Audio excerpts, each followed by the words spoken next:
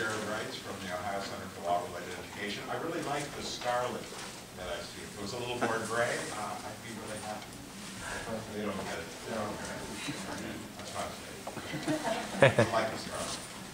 And Yellow Blossom, the White House Associate Director in our criminal affairs. We are pleased to see you for another wonderful day. And you are?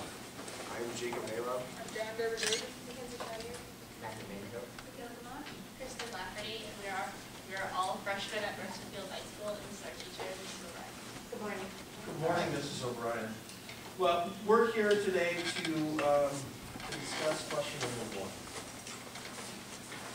And um, we'd like to know your ideas about the following questions. Modern government has greatly extended its range, assuming responsibility for improving social conditions by regulating economic activity and providing a wide range of public services. This great expansion expansion poses a major challenge to the very idea of constitutionalism, devised as commitments to limited government. Do you agree or disagree with this assertion by a British scholar? Why? What evidence can you offer to support your position? How would you explain the concept of constitutionalism? What can citizens do if and when they believe government is overstepping the bounds of constitutional government? The U.S. Constitution is seen by many as a revolutionary document. It was written shortly after the end of the American Revolution, and the founders kept in mind their experiences with Britain whilst crafting it. This belief in limited government and the idea that men weren't angels, as seen in Federalist 51, greatly influenced the founders and resulted in a written constitution with certain enumerated powers. Over time, however, the government has become expected to be more active. This transformation, although supported by many people in the 1930s, has sparked public debate today and could threaten constitutionalism. Constitutionalism was a principle that the founders sought to achieve when crafting the U.S. Constitution. It can be defined as a supreme law by which the people establish and limit the powers of the government. The concept derives from the idea of rule of law, which is seen in the Magna Carta, and is the idea that the government is not above the law. Constitutionalism is, as such, an invaluable defense of a government becoming tyrannical. This principle is achieved in the Constitution in Article 6, which directly states that, quote, "The Constitution shall be the supreme law of the land," end quote. This constitutional provision was utilized by John Marshall in Marbury v. Madison to justify another important limitation on government, judicial review. As written by Justice Marshall in the Marbury opinion, quote, "An act of the legislature repugnant to the U.S. Constitution is void," end quote. However, as the power of the government expands beyond the framers' expectations, in the words of the Constitution, the idea of constitutionalism is being challenged. This growth of the government has manifested itself in the form of government regulation of economic activities. Beginning in the 1880s, to form court case Lochner v. New York, it was believed that because people had the right to liberty, they also had the right to con- to contract. Therefore, even though people began to look more towards their government to regulate working conditions, wages, and hours, the Supreme Court did not support its expansion of constitutional power. It changed during the New Deal, as the government was expected to play a more prominent role in economic decisions. Since then, there have been numerous regulations that seek to improve the economic conditions of Americans. The fact that 44 million Americans were without health insurance led to the passage of the Patient Protecting and Affordable Care Act in 2010.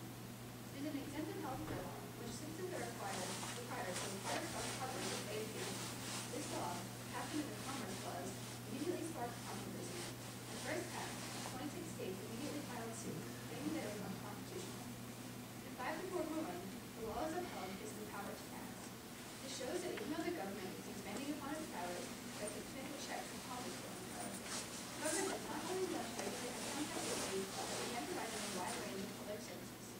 National government has also taken a more prominent role in education.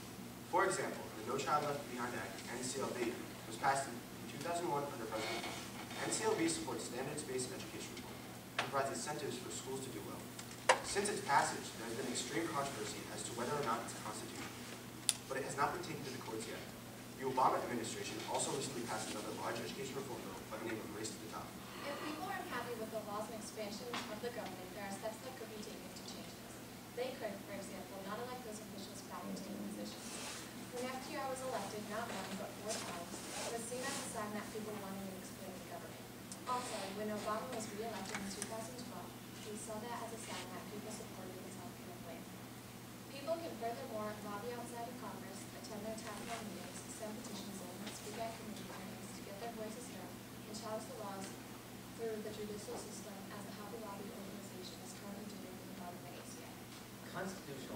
very difficult ideal to achieve and is constantly being challenged. Governments have a history of growing larger and larger over time. An overbearing government is what caused Americans to revolt and has also been exemplified in America's government. Without this principle of constitutionalism, it would be nearly impossible to maintain a non-tyrannical government. The importance of constitutionalism cannot be overemphasized, and modern government would be exceedingly different without it. Thank you for your time, and are now ready for follow-ups. Thank you for providing a very clear, well-organized response to the questions, but we have a few follow-up questions. Well, I heard someone uh, mention the concept of higher law. Uh, What is uh, the relationship between a constitutional government and that concept of higher law? In a constitutional government, the constitution itself is typically higher law. This is seen in the U.S. as Article 6 clearly states that the law is the supreme law of the land. Without this con- constitutionalism, the government would basically break all laws and there would be no punishment for them. In Article three of the Constitution, we have this establishment of the Supreme Court, which the Supreme Court justices take oath to uphold the Constitution and protect it as higher law. How do we know what, what higher law is in the first place? Higher law basically means that everybody has to follow the law. The law is not a higher law, and people could break it, such as high-ranking government officials, and there would be absolutely no retribution or anything for that. It's kind of a very dangerous tyrannical government in which they basically oppress the people, and it would all be not constitutional, but because it wouldn't be higher law, they wouldn't be able to do it to stop it. Second, we live in a democracy, and you're saying that sometimes democracies make mistakes? The majority can sometimes be wrong. This is clearly seen throughout civil rights movements, where the majority was trying to oppress the minority, the minority was trying to fight back. So what, it- what specific examples can any of you provide of when either the state or national government has made a mistake and there's been an appeal to higher law? The passage of the Fourteenth Amendment, it was claimed that all people should be citizens. The Fifteenth Amendment rights to all citizens. Despite this, southern state legislators passed a code, uh, series of laws that basically prevented southern black people from voting. Included the grandfather clauses, literacy test, and poll taxes. However, people claim that this was violating the Fifteenth Amendment right, as no, as highly, as there is a high percentage of black people who could not vote as a result of these laws. This led to the March from Selma to Montgomery to fight for the Voting Rights Act, which was later established and was signed by Johnson, uh, the Voting Rights Act of nineteen sixty-four. We talked about some of the actions of southern states. What does the Constitution provide in terms of processes for when a state violates you address that? When a state violates uh, constitutional provision, usually people take it up to the courts in an attempt to try to get this law repealed. It's up to the national law, then usually the national law is taken as the law of the land, and the state one is typically nullified. In the court case Roe v. Wade, the Texas um, law about abortion, when it- the federal law took it up, and it ended up finding that uh, women have the right to have an abortion. The result, the Texas law was declared unconstitutional.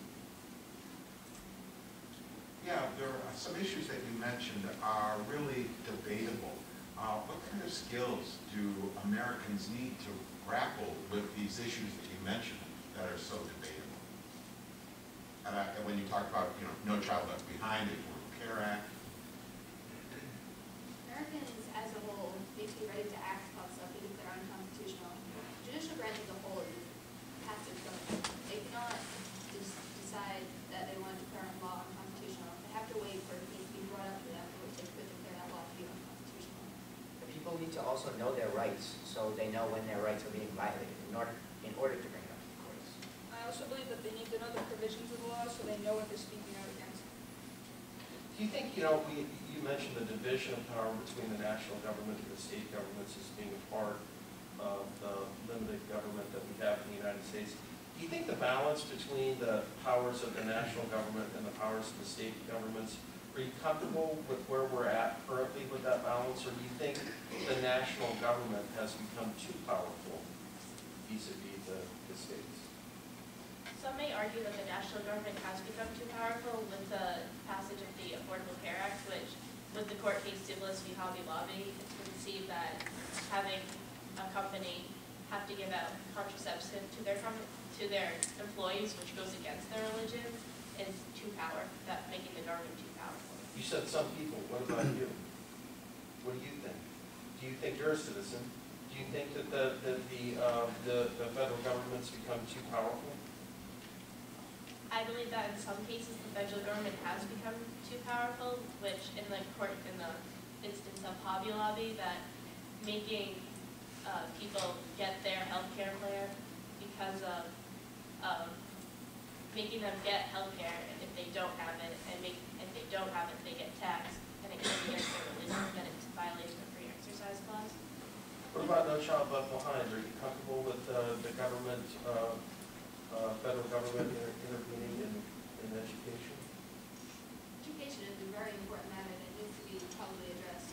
If education is basically what prepares the child for their ability to function as an adult and get a paying job, if states are not doing a good enough job with education, then the national government should be able to pass an education reform that allows for the United States to benefit as a whole and allows its citizens, or former, future citizens, and future nation to be able to get a good education to be prepared for this overall.